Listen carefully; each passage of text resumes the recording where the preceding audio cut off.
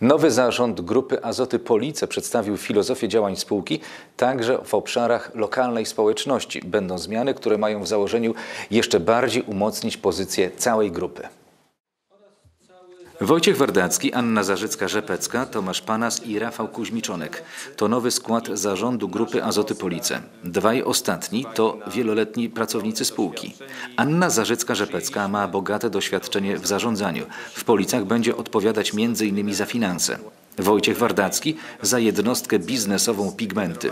W konferencji uczestniczył też prezes zarządu Grupy Azoty Mariusz Bober.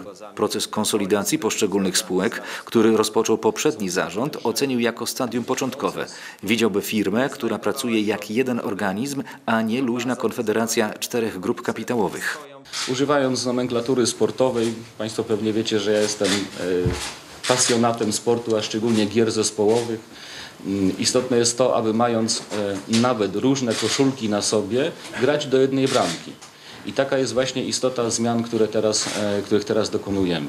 Takie nastawienie ma spajać motto 2i, czyli integracja i innowacje. Innowacje mają polegać na inwestycjach, bez których zdaniem prezesa Bobera nie można konkurować w tej branży.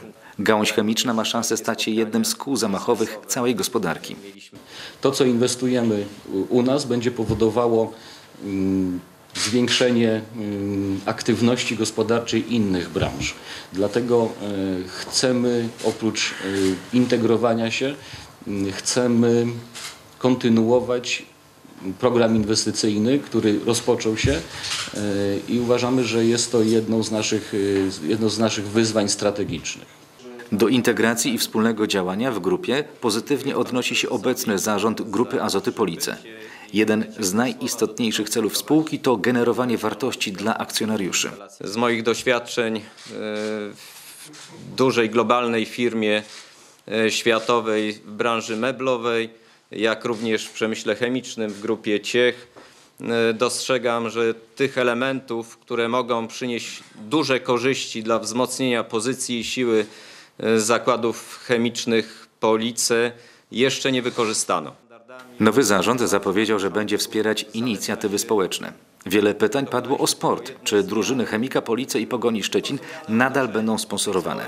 Mariusz Bober podkreślił niejednoznacznie, że zarząd nie analizuje zmniejszenia zaangażowania się. Zagrożone nie będą również największe inwestycje, jak instalacja do produkcji propylenu, która ma wygenerować wiele miejsc pracy.